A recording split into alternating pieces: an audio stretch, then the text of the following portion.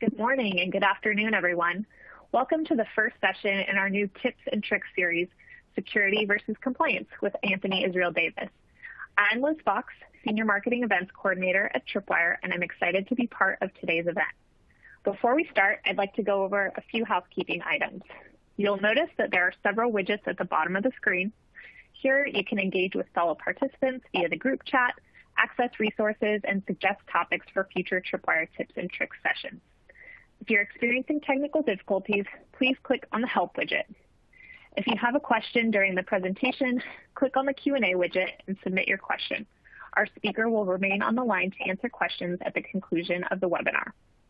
We'll also be sending out a follow-up email with a link to the on-demand webcast at the conclusion of the webinar. So now let's get on with the event. Our today's speaker, Anthony Israel Davis, has been with Tripwire for over two decades and is a senior manager of SaaS Ops, helping to deliver Tripwire's from the cloud solutions. During his tenure, he's worked as a web developer, managed the business applications team, helped develop the security awareness program, and led IT compliance initiatives, including SOX PCI DCS, DSS, and SOC 2. So now, without further delay, I will turn it over to Anthony. All right. Thank you, Liz. I appreciate that. That was back, uh, I needed a haircut back then, and I desperately need one now. This quarantine has been uh, great for my hair growth. So uh, before we get started, so this is tips and tricks. Uh, although I don't think there are going to be any tricks. Uh, I've found that there is no one weird trick uh, to compliance. It just doesn't work that way. But there are a lot of things that we can do for success. Uh, but before we get started, one of the things that I would love for this to be is uh, communal. Uh, everybody on the line here has expertise. You have got experience. You've got great questions. You've got great answers. So I'm going to present the things that have been successful for me. Uh, but if there's something that uh, like tickles your mind that you want to throw out there, uh, feel free to throw that in the group chat. So there's a group chat button along the bottom. If you open that up, uh, you can throw out questions, you can throw out comments. Uh, in fact, uh, feel free to say hello. So where are you from? Are you somewhere in North America? Are you outside of North America? I'd love to hear that to see if there's somebody calling in from outside. Uh, so feel free to say hello. Uh, the chat lines are open, so that is for you. Um, and I'll be watching that as we go. So if I see something interesting, um, I've got my prepared slides. But if something becomes interesting to the group, uh, we can go in that direction. Uh, we don't have to stick to the slides. Uh, this is this is our time. It's our first tips and tricks, so we're trying this out, um, and I'd love to hear from you. So again, drop in your your questions, drop in your comments. Uh, if there's a question there that you can answer, feel free to answer it in the chat. I'm okay with that.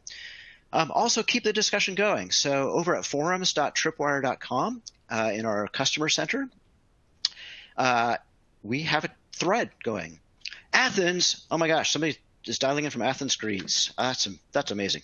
That's awesome. I love that. Um, so yeah, forums.tripwire.com. I've got a thread there. Uh, I'm going to post the Q and A's there. So if you miss a question, I'm going to post the questions and answers there afterward. If there's additional questions or comments, uh, throw those in. Oh my goodness! Uh, wow, we got people from all over the world. I've got the UK. I've got Istanbul, uh, Quebec. Man, this is this is fantastic. Uh, greetings. Thank you for attending. I, I really appreciate it. Um, if anything that you, you, think of that comes up that didn't get answered, you want to talk about, forums.tripwire.com. We'll keep the conversation going. Uh, we only have you know an hour at, at most here, but we can keep this going. This is a great discussion. Um, Oh man, I love the participation already. Great. So again, feel free to throw in questions, comments there. I'll try to keep up. If I miss something, that's fine. Uh, we'll catch it at the forums. Uh, so let's get started. Uh, the one big thing. So I uh, recently recorded a presentation for a, co- uh, a conference here called Interface, uh, Interface Portland, and I wanted if you like get this and then have to leave after that, get this Sec- security and compliance are a partnership. So that is, uh, for me, the biggest thing to to take away.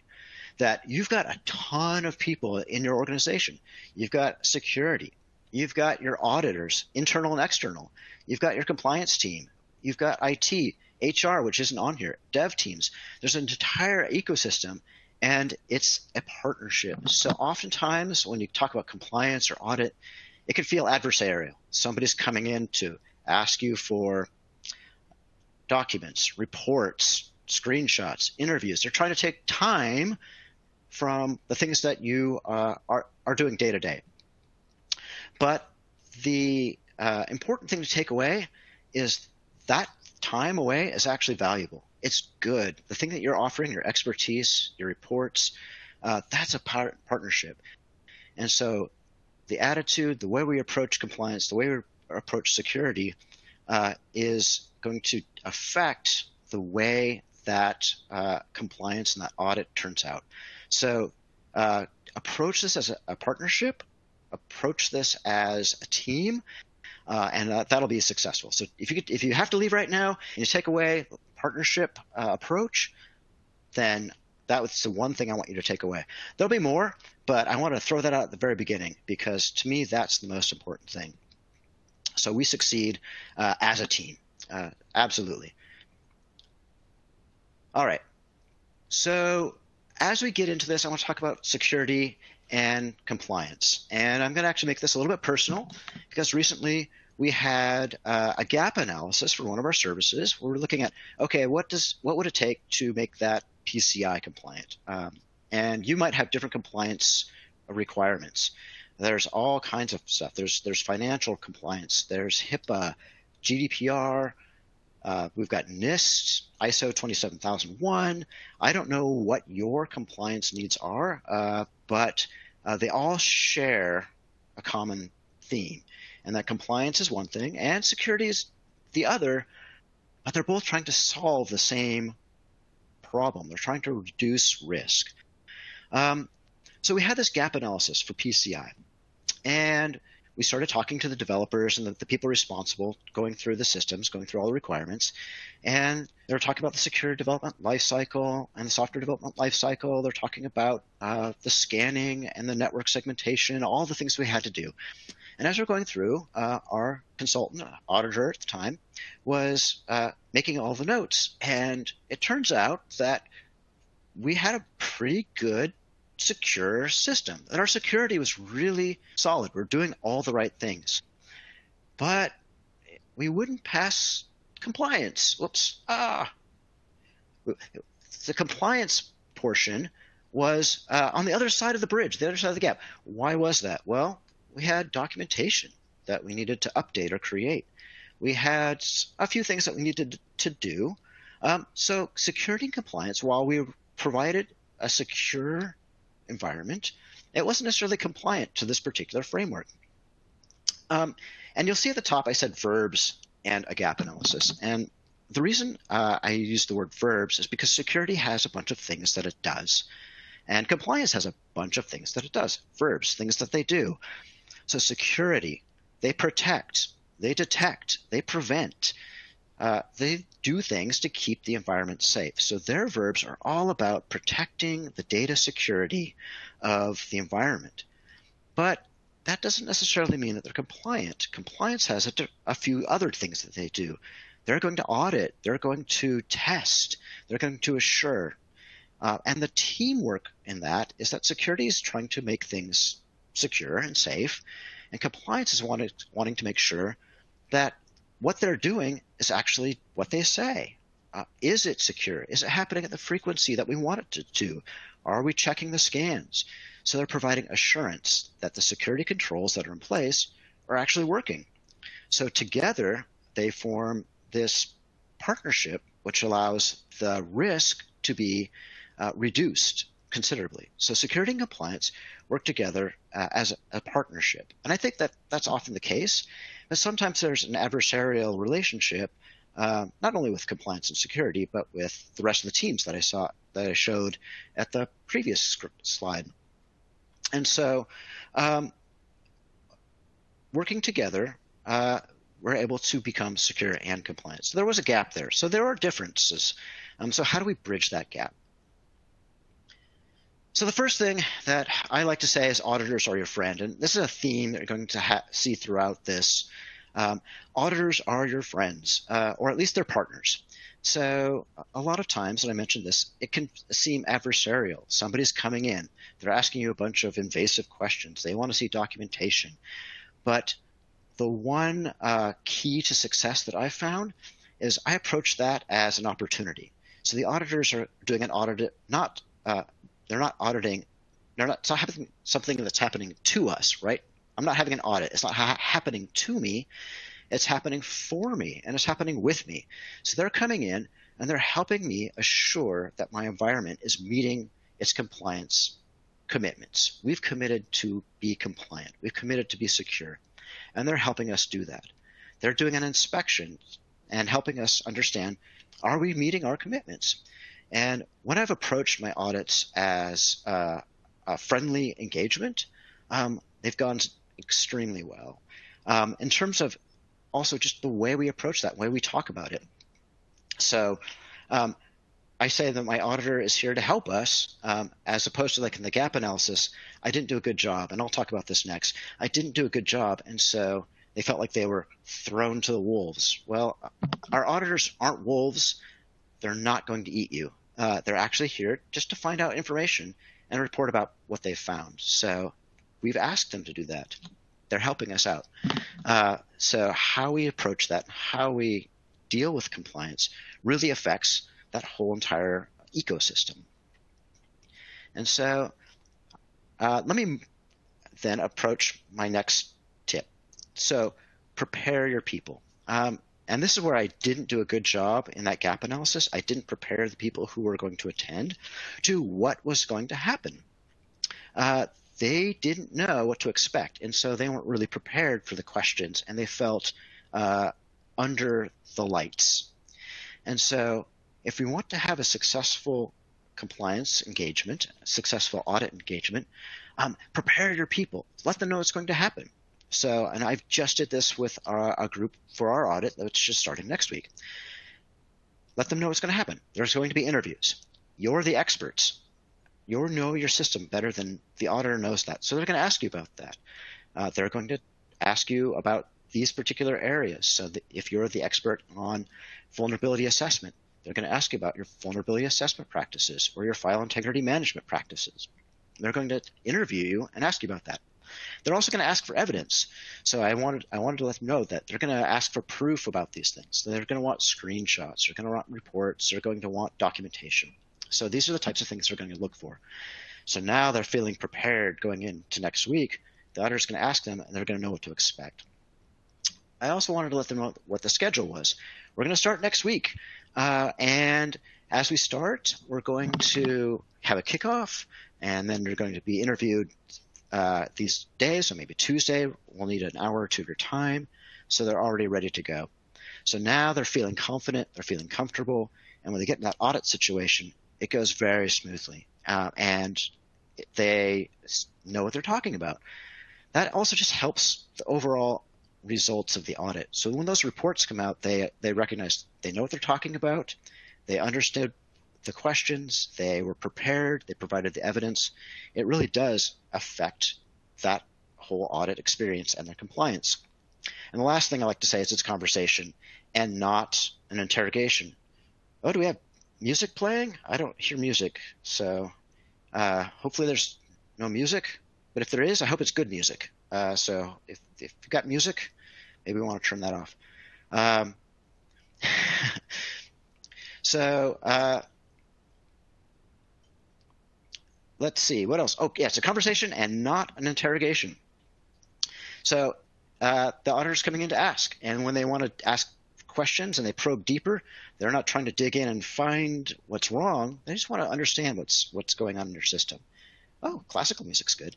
Um, so hopefully it's providing a nice ambiance for this and not too distracting. So uh, we'll see if we can get that taken care of. Thanks. Appreciate it. Thanks for letting us know. Um, Okay, next tip. So this is one that I've gotten a huge amount of value about, um, and I've actually written a couple of blog posts about it. I like it so much. So the Verizon Payment Security Report, and in fact, I wrote a blog saying it's not about PCI, and it really, really, really isn't just for PCI. So yes, it is the Payment Security Report. Yes, they talk about uh, the PCI standard, but there is so much value packed into this. I rec- I, I highly recommend that uh, you you download this and you get uh, the value out of it. And you can download past reports, so you can get 2017, 2018, 2019, 2020, so you can actually get the older reports. And I recommend that because each report digs into different aspects of payment security or your data security environment. Um, and it's great not just for uh, compliance, but it's great for security. And let me give you an example of that. The PSR has a framework that they have uh, laid out called the 954 framework. Um, and this is a really good way to understand your security environment, your compliance environment, find uh, areas of improvement, and uh, ways that you can then uh, advance the maturity of your data security program. Um, and I, I, really appreciate what they've done here, so recommend that. So the nine, whoops, extra clicking. Let's try that again. So the nine, so 954, the nine factors of control effectiveness. So they lay out nine areas, the nine factors that help you establish your controls. As you can see from a security standpoint, is your control, are they designed well? Uh, what's the control risk? What's the control environment like? And so they go through that. And I'm not going to go into detail here because they're in the report, but it's give you a sense of the types of things that are in there. Um, but my favorite part is not the nine, but it's the five. Uh, and it's the five constraints. So the five constraints of organizational proficiency. And the reason I really like this is it's not just uh, applicable to this framework or this model, but it's applicable for thinking about any time you've got a constraint. And they talk about capacity. So do you even have the money, the time, the people to perform whatever it is you happen to be performing? If you have the people, do you have the capability? Are they able to do the the tasks? Are they able to do the things that are required of them? That's true of technology as well. Do you have the technology? Uh, uh, do are they, is it capable of performing the task that you need to perform?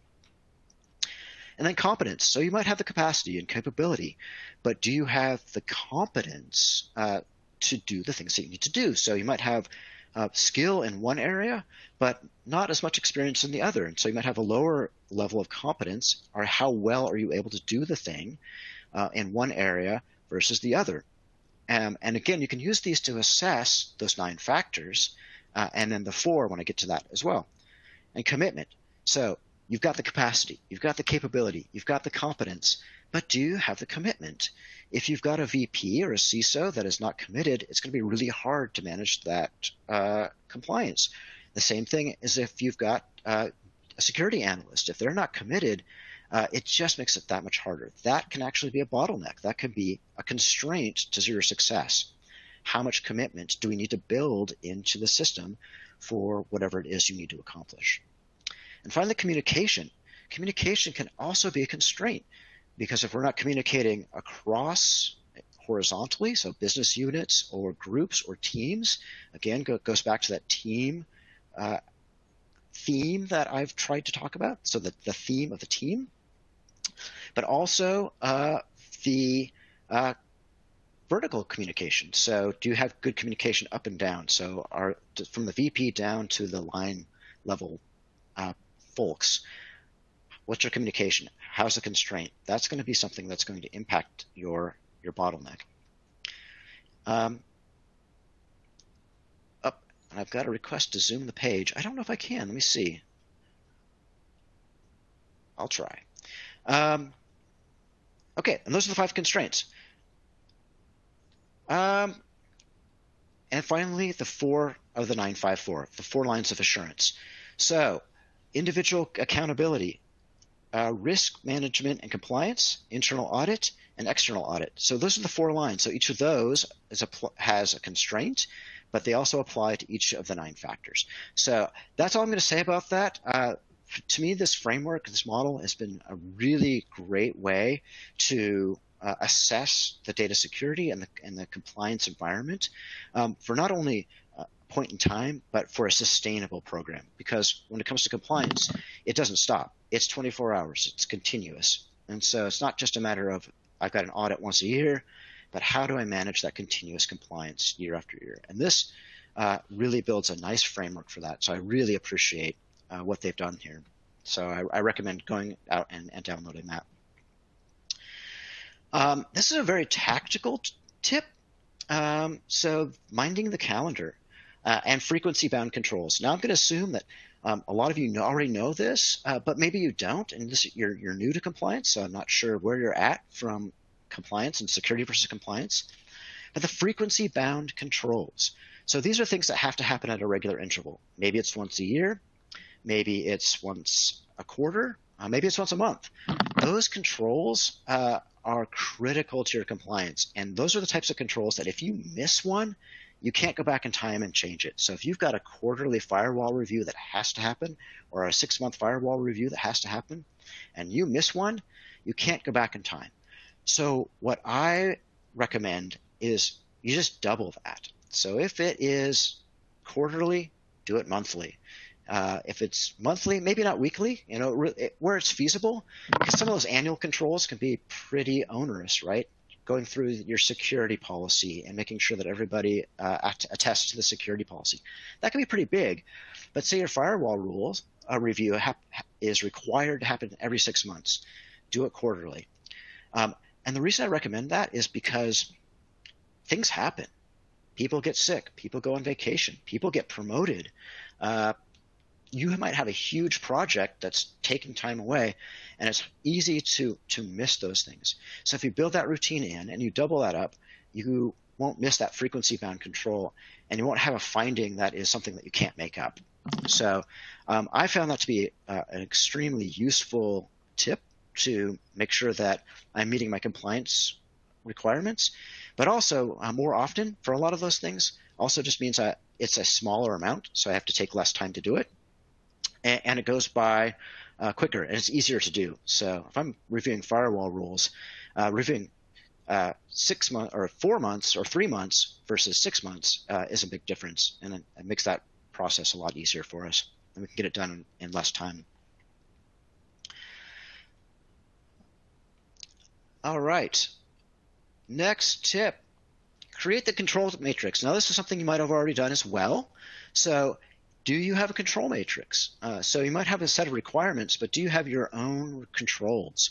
Um, I know that when I had to do this for SOC 2, it was so useful because I knew exactly everything I had to do, um, and I can just hand that to the auditor, and I can manage that year over year, and I refresh that year over year. In fact, I'll talk about that um, next.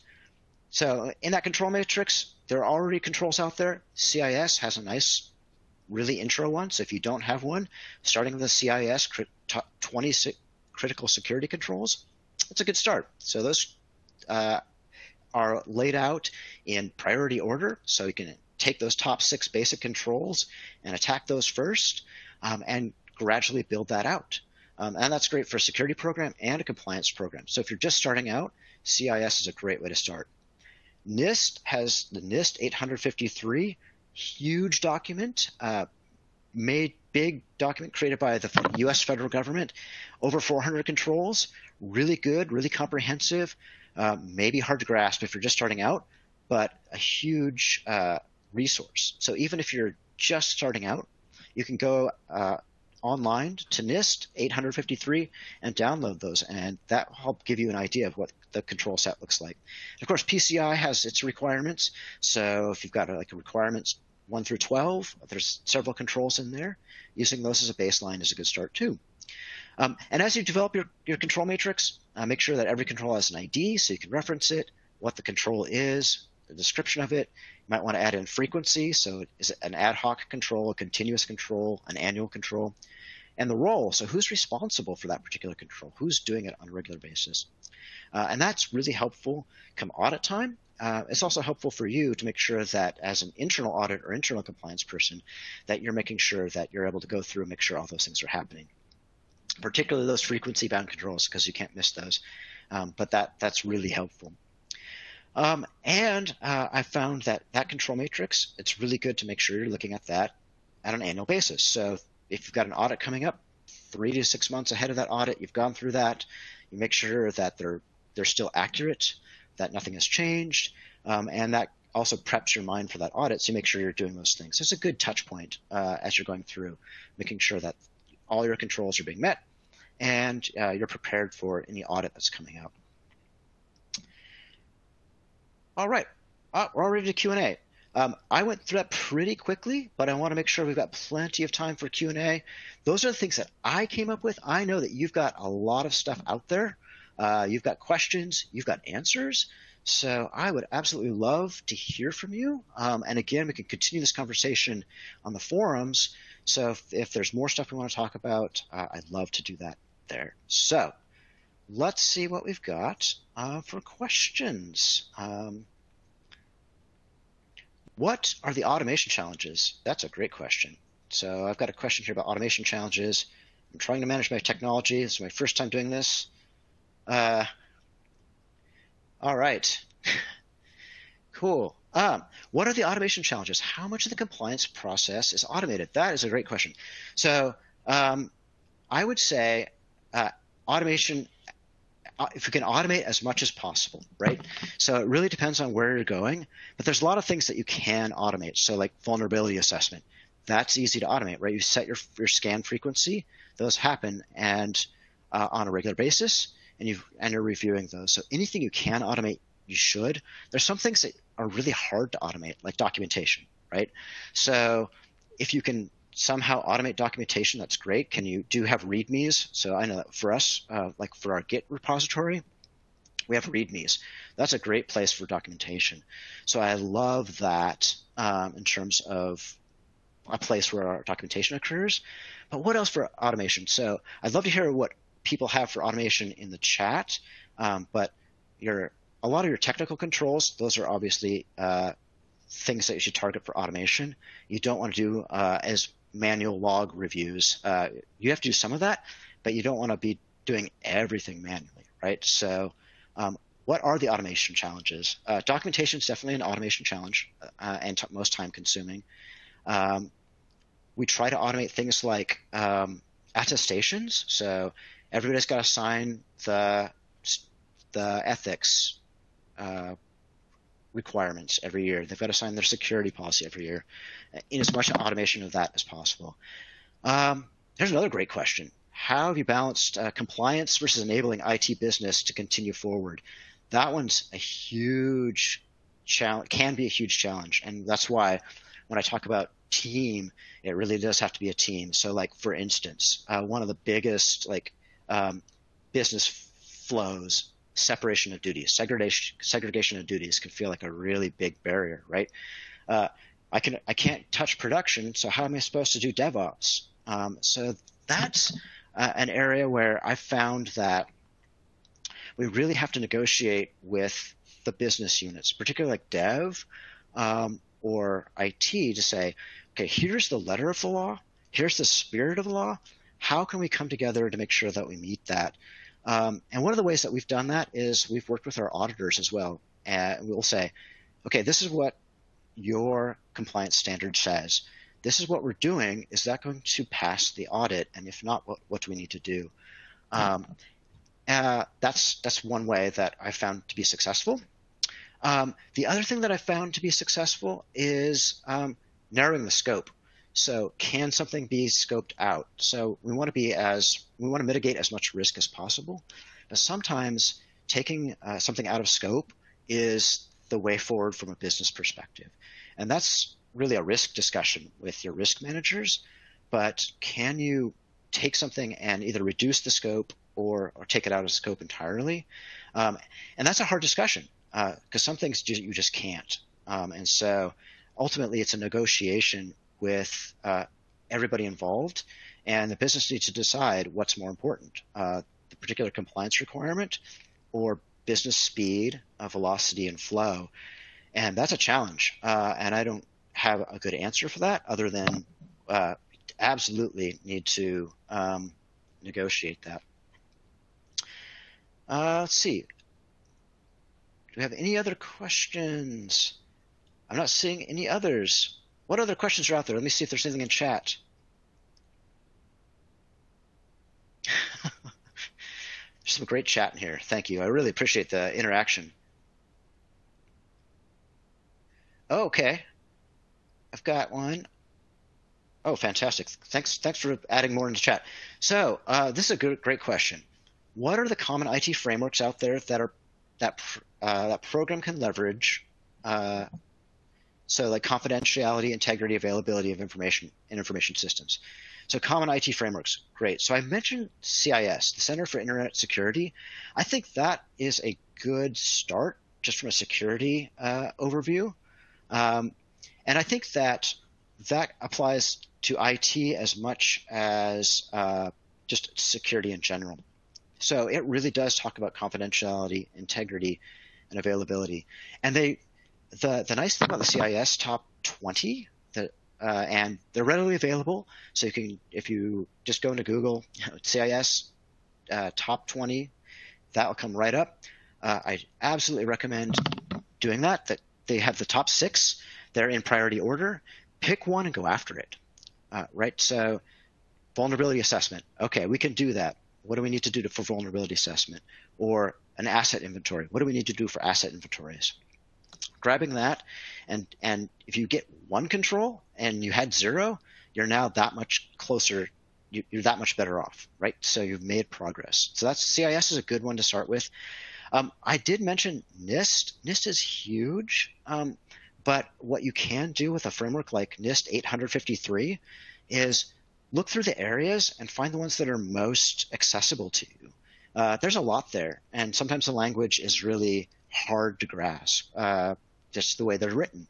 But find things that you think can make your compliance or your security uh, environment better. What can you do to make that just a bit better than it is today, because it's a constant uh, it's a constant growth, right? You're constantly making things better uh, day to day, um, and if you made one step, you're one step more than you were yesterday. So I, I absolutely recommend doing that. Um, if there are other frameworks that people are using uh, that are like really like for like common, uh, I know that there are several out there that you're using. Uh, throw that in the chat. Um, I'd love to hear that. What are you using? Um, you know, PCI has its requirements, so that kind of gives you like that's what they're looking for for data security. Uh, those are ones I'm familiar with. Um, you might have Sarbanes-Oxley, which is uh, SOX doesn't really give you a good framework to work with, and they use like COBIT. Uh, so COBIT I know is certainly used. Uh, ISO 27001, um, but they're big. So I'd say start for something that you can consume uh, rather than something gigantic because that could be hard. Um, more great questions. Love these. These are coming in. So, younger startup companies starting to understand their security posture. Any suggestions or advice as to which compliance standard to start with? SOC 2 versus PCI versus ISO, for example. Okay. Uh, this is a great question. Um, and if you're just starting out, so I've mentioned SOC 2 and PCI and ISO, those are specific things. So it's really going to depend on what your business goals are. So when I say security, I'm going to go back to CIS. Um, I really think the CIS are the most grass, most attainable. Uh, there's a lot of resources out there for that. In fact, they offer a lot of free resources just to assess CIS. I really would start with that. So SOC 2, for instance, tends to focus on cloud compliance and has a very specific business goal in mind. PCI, payment card. So if you're not storing, processing, or transmitting payment card, credit card data, you probably don't need to jump into PCI. In fact, I would avoid it. Unless you have a business requirement to do PCI, I would leave that one out. ISO is a great general framework uh, it's huge. So if you're just starting out, um, I definitely would recommend looking through that control uh, set to see what you think of it. But it's big as compared to something like CIS. So um, if you want something that you can look at and go, I think I can do that, CIS is probably there. If you look at ISO and go, wow, that's a lot, um, but I can do some of it, maybe that's that's an approach to take as well. But again, I I'm going to stick with CIS. I think from from my standpoint, I think that's the easiest one to start out with. Um, that would be my guess. Um, if other people again in chat, uh, what's been successful for you? I'd love to hear it.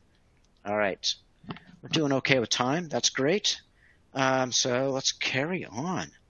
What is the best solution? Uh oh, the best solution. What's the best solution uh, to automate security controls uh, to be available for continuous improvement purposes. Oh, wow. Risk assessment, maturity assessment, compliance reviews.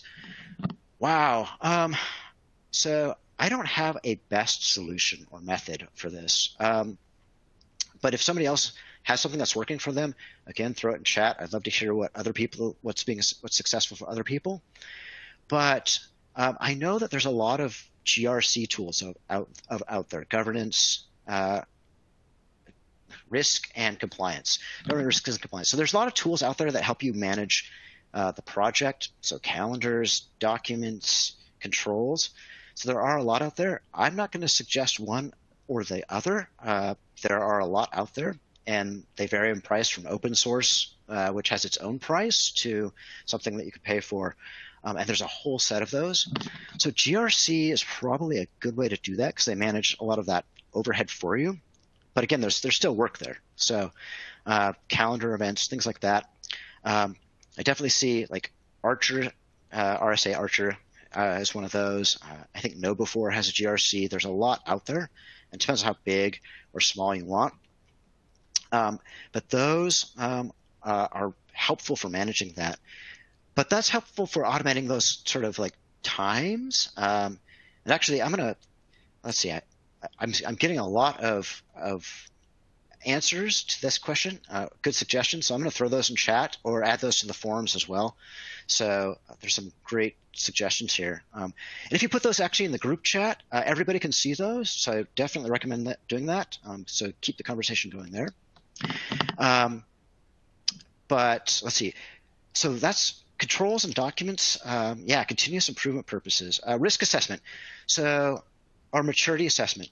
So when I say the 954 model, when I talk about the Verizon Payment Security Report, that has a really good maturity assessment approach. So I do recommend that. And then compliance reviews. I mean, if you've got an annual audit, that's a good uh, trigger there. So you want to make sure that you've got those happening on a regular basis. Um, this is a great question. I think we could spend a whole a lot of time on this. Oh boy, I got lots coming in. So um, so if anybody has a best solution, uh, definitely recommend that. I'm going to throw some of these in chat once I get a chance to do that.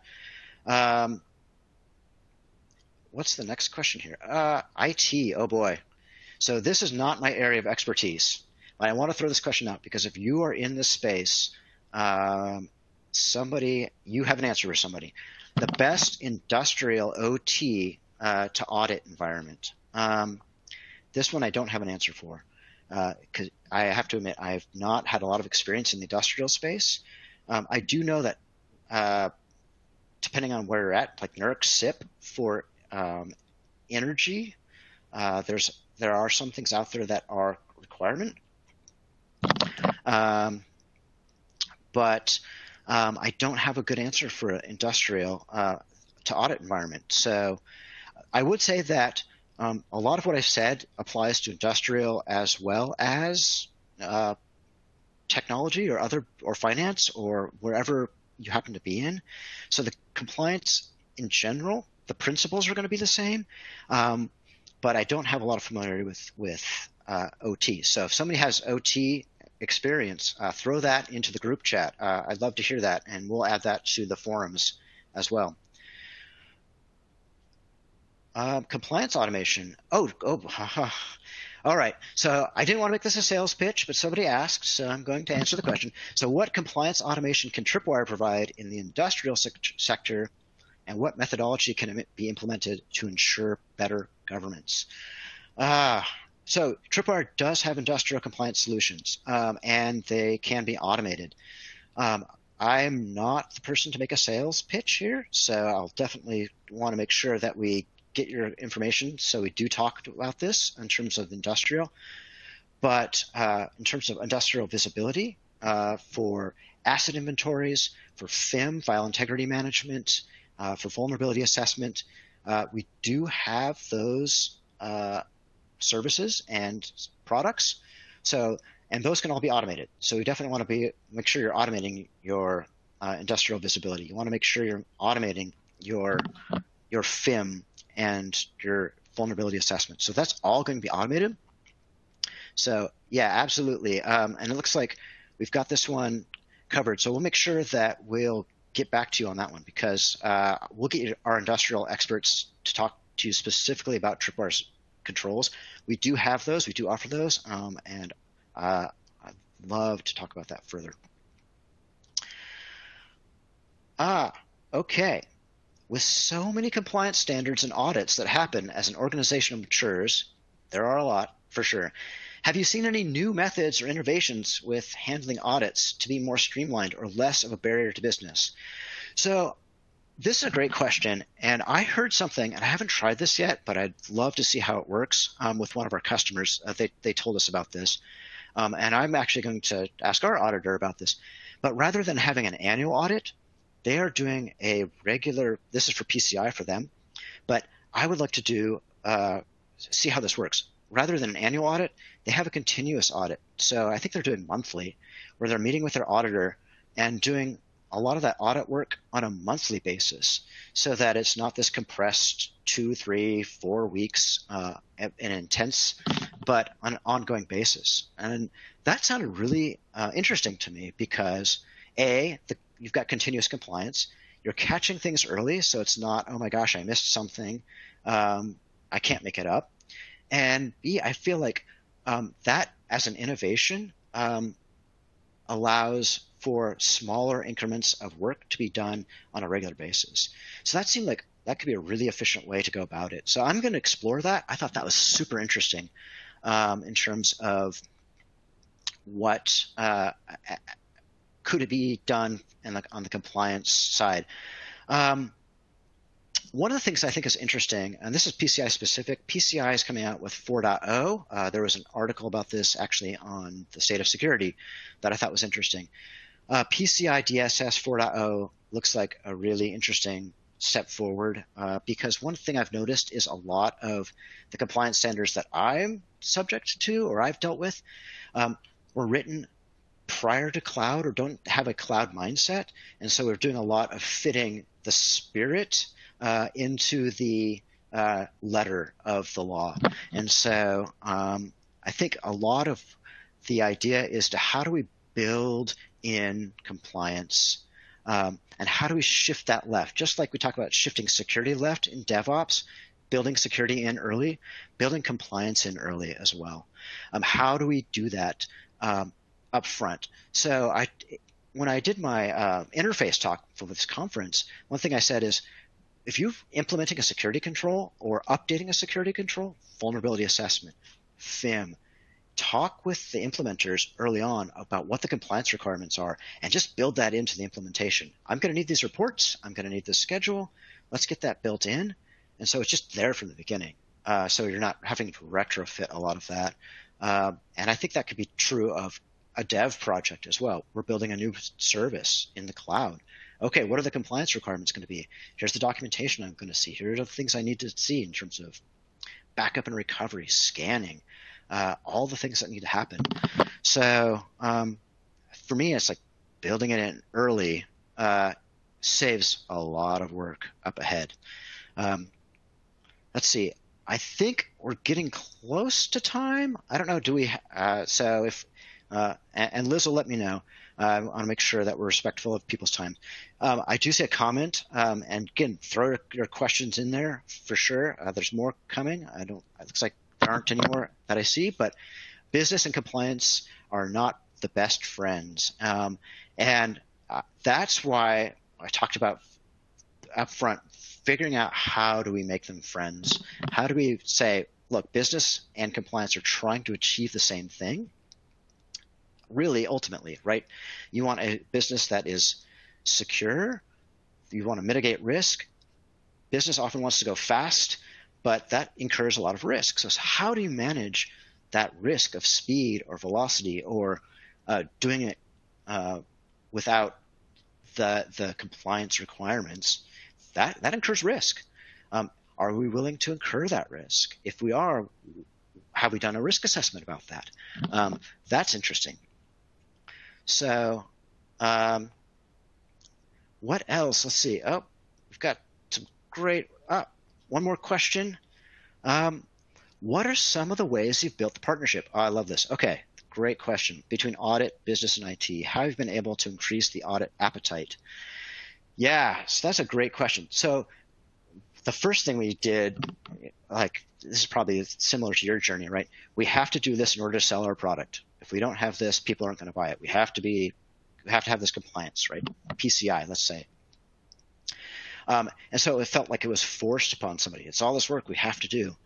Uh, and so we had, what I've had to do is build in the, like, this is actually helping us sell, right? So if I'm talking like the sales or, or marketing, right? Uh, this seems like it's taking time, it's uh, taking effort, uh, or IT. Why do I have to do all this stuff? If I do this stuff, this actually allows us to be more successful on the sales side. It helps us to be more successful on the marketing side. So we have to build in the what are the collective wins from compliance? Um, what are the collective wins that we get um, to uh, manage uh, this this process going forward? And how do we do that in such a way that isn't overly impactful to one side or the other? So we have to build in that compromise. There's a great question in chat, uh, one that I struggled with when I started out. So I love this question. How do you start risk assessment? Any template, templates you recommend? This one I struggled with when I started out. It was huge. I thought, risk assessment? Well, everything's a risk. Anything can happen. How do I narrow that down? And so um, there's a lot out there. That is a great question. That's probably one that I probably should take to the forums because I want to think about that uh, and not be so off the cuff. But um, in terms of starting risk assessment, um, the the one thing I would say is uh, don't look at your entire enterprise and think what could happen to it that's bad? Uh, because your I that that melted my brain like oh my gosh anything could happen. A meteor could hit. Um, but what I would say is uh, understand your uh, system. Understand the vulnerabilities in, in the system. So one uh, way to start that is simply with vulnerability assessment right? Do you have vulnerability scans and what are your highs and lows? So that kind of gives you a, a jump start to understanding what your risk is. But you might have uh, this huge report that says all this stuff needs to happen. So now, well, which of those assets that are being scanned are the most important? Which one has the critical data that you really care about versus uh, this is, doesn't have this anything that is uh, this doesn't have stuff that I, I care about in terms of, of criticality, but also it doesn't have any access. So that's probably a lower risk than this thing that's high risk. It's on the internet. It's accessible. I need to patch that now. So vulnerability assessment, I think, is a great way to start um, for risk assessment. So that kind of gives you a, a pointer in a direction. Um, also, in terms of uh, what tools are out there, um, so uh, what tools are out there? So there is, um, I think, Audit Tools uh, is a website that I've used to kind of kickstart that. Um, so audittools.com, I think, is what that is. Uh, there are some uh, resources out there. CIS has some tools that helps you assess. Um, and there's another great question about um, risk, like should it be asset based or service based? Um, uh, I'd say debate. Uh, go. Uh, throw that in the chat. What do you think? I would say, um, off the top of my head, and I, I reserve the right to change my mind, I think I would probably start with assets only because I would start to think about where is my critical data held? Is there anything that has payment card data? Is there anything that has PII? Uh, uh, anything that could, identify uh, a person, right? Personally identifiable information. Is there any HII, so health information, right? Uh, anything that holds that is there what are the critical assets that are holding my data and how do i protect those? So i'd probably start with that. Um, however um, i can make an argument for service as well. So is this service critical to your business? And what happens if this service goes down? Would it shut your business down completely? Would it would you start incurring fines if that service goes down because it's a financial institution? So I would say there are two different approaches, um, but ah, I love Louisa's uh, answer there. Um, define the context. So I think that's probably gets to what I was saying there in terms of So context is great too. But risk assessment, I think, is a we could have an entire talk about risk assessment because I think risk assessment is huge. Um, and there are entire courses about that. So I think that's a great question. Um, I hopefully uh, answered some of that, Rodrigo. And again, uh, group chat, uh, definitely, you've got some stuff there. The forums um, on this thread, if we want to keep that going, I think we could have a great conversation there too. So we can build a community where we're actually able to answer these questions with each other. Um, because an hour to cover this huge topic isn't a lot, but hopefully uh, we've done a little bit to make us better. We've learned a little bit of something here. Um, let's see, do we have time? It looks like we've got maybe I have 10 minutes left in the hour.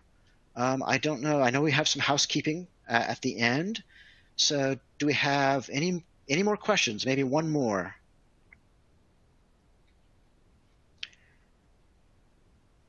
I'm not seeing anything else. Um, one thing I do want to say is thank you very much for attending. I really appreciate it. I really appreciate uh, the conversation that's going on in chat. Thank you so much for participating. I really that I, appreciate that so much.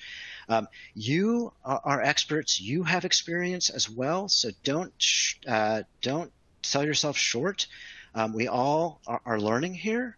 So I appreciate that, um, and that's one of the reasons I wanted to see this group chat going and the forums because as much as I can offer, uh, I only have my experience, uh, and you've got yours. So uh, really appreciate it. Thank you. And I will turn it back over to Liz then. So thank you very much. Awesome. Thank you, Anthony. Thanks for a great event, and thank you to our audience for attending. We hope that you found the session informative and useful to you. If you'd like to receive proof of attendance, please respond to the follow-up email that you'll receive at the conclusion of the webinar.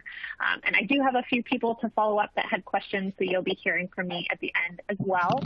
As part of today's event, we are giving away three Tripwire swag bags for attendees today. Um, so I used my little number generator and uh, congrats to, to Philip J, Juan C, and Stephen L uh, for winning the swag bags. I'll be reaching out to you later this afternoon. We do hope that you'll join us for future Tripwire tips and tricks sessions. Uh, make sure to check out our website at tripwire.com to see upcoming events. Uh, thank you again, everyone, and have a great day.